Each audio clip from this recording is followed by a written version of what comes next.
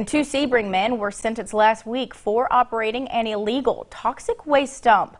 This is video from last year's arraignment of Brian Hopper Jr. and Samuel Hopper Jr.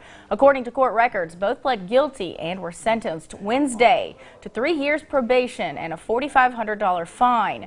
They were accused, along with Richard Sicklesmith, of storing thousands of pounds of hazardous chemicals at the Sebring Industrial Plating Facility and operating a dump site without proper state permits. Sicklesmith was sentenced back in May to five years probation and also ordered to pay restitution.